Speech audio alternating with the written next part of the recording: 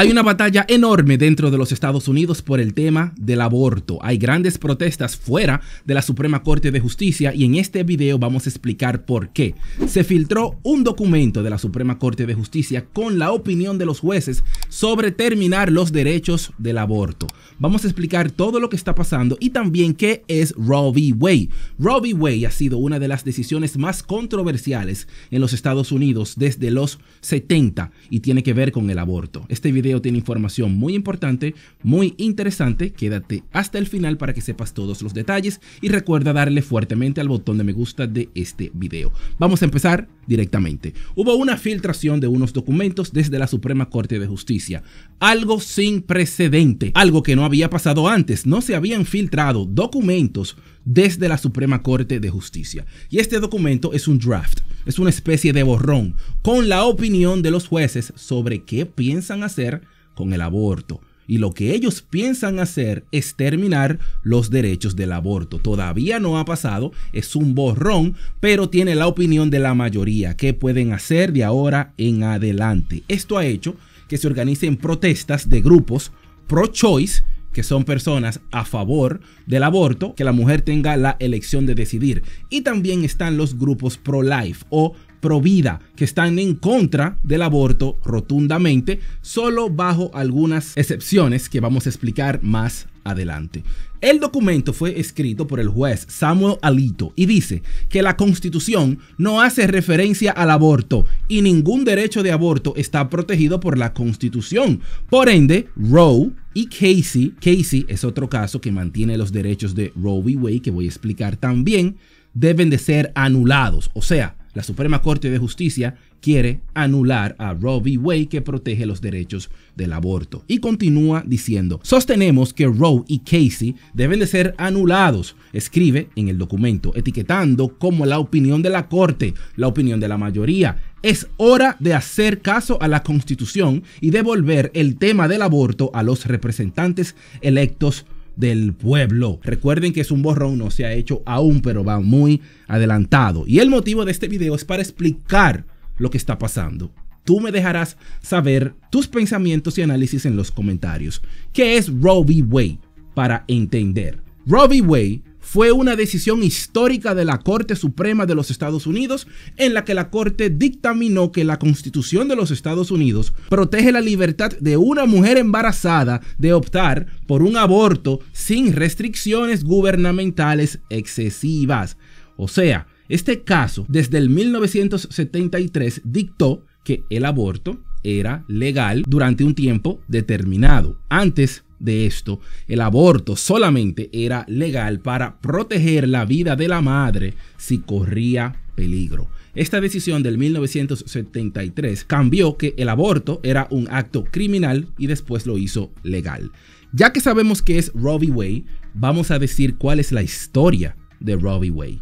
En Texas, en el 1969, una mujer que se llamaba Norma buscaba tener un aborto.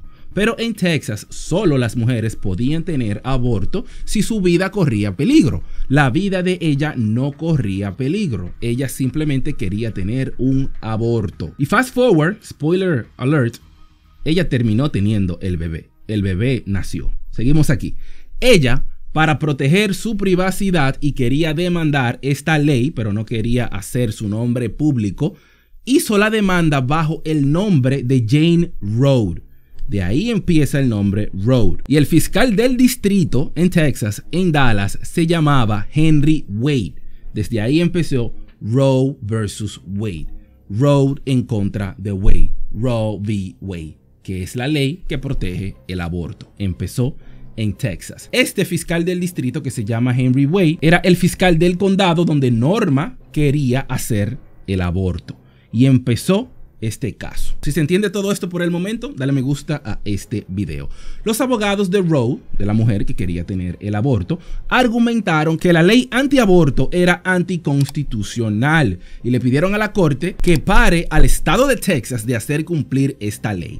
Esta corte en Texas decidió que sí, que era anticonstitucional esta ley, pero no paró el cumplimiento de la ley. O sea, no hizo nada. Después, ella fue hasta la Suprema Corte de Justicia, donde se tenía que tomar una decisión.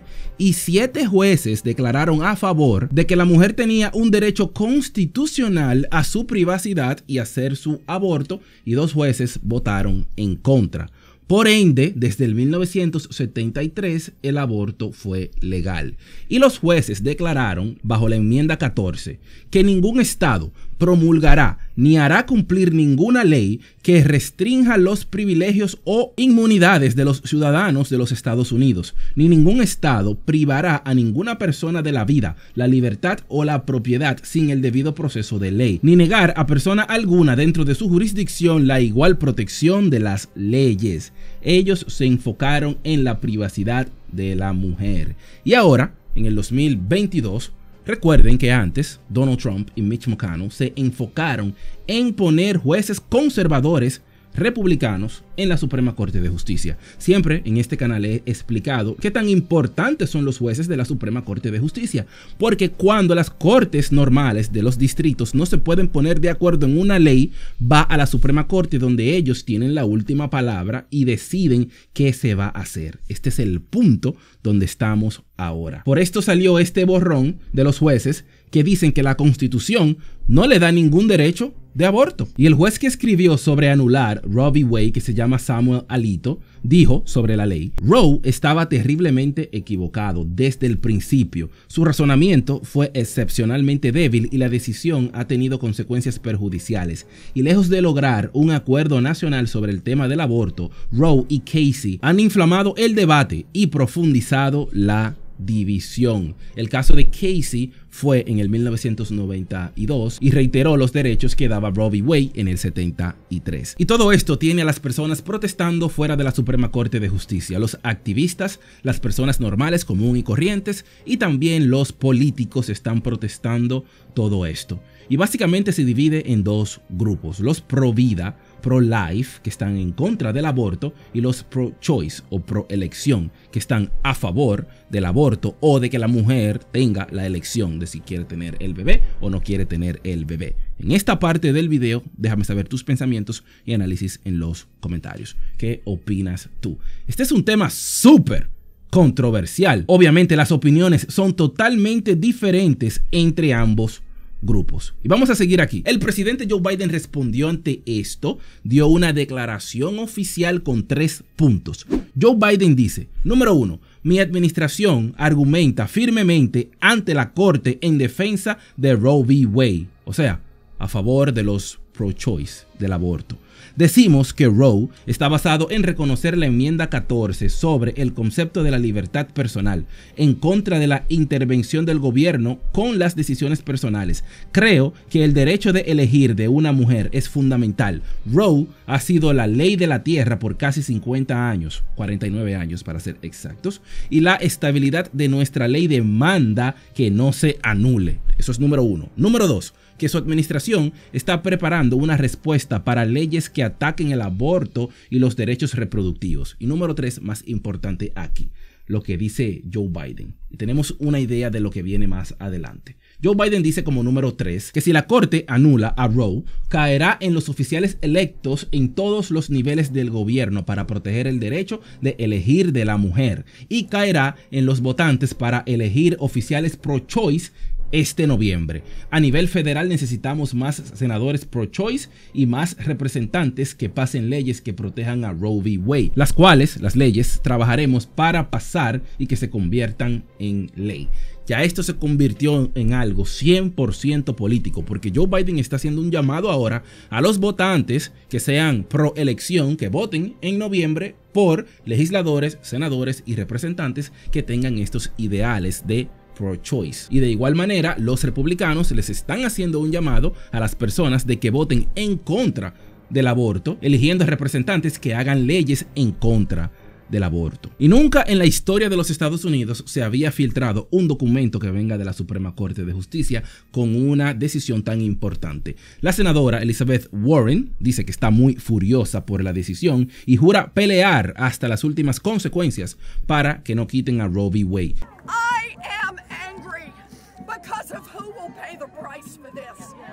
It will not be wealth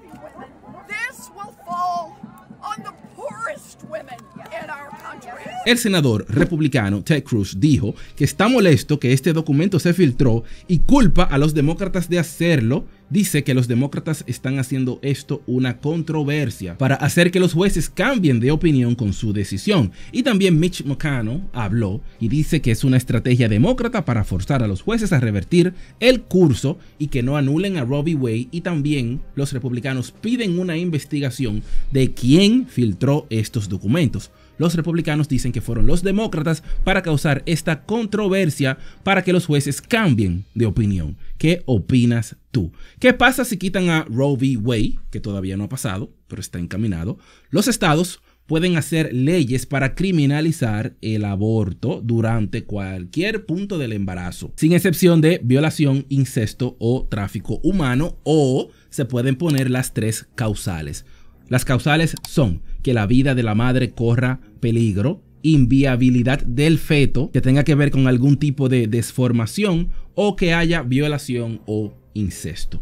Todo esto habrá un poco de incertidumbre sobre cómo los estados van a responder ante esta decisión si la Suprema Corte de Justicia anula a Robbie Wade. O también puede pasar como en el tema de inmigración, que hay ciudades santuarios. Lo que significa una ciudad santuario es que ese estado no coopera con el gobierno federal cuando se viene a inmigración. Que si hay que mandarles algún indocumentado de inmigración, ellos simplemente no los envían. Y ahí se convierte en una ciudad santuario. Quizás algunos estados decidan no hacer cumplir estas leyes del aborto. Pero también los estados que tendrían las leyes antiaborto pueden hacer ilegal que una persona vaya a otro estado a realizar un aborto. Así que mi gente del Rey Studios, déjame saber tus análisis y pensamientos en los comentarios y también recuerda darle fuertemente al botón de me gusta de este video, compártelo en Facebook con amigos y familiares. ¿Qué tú opinas sobre todo esto?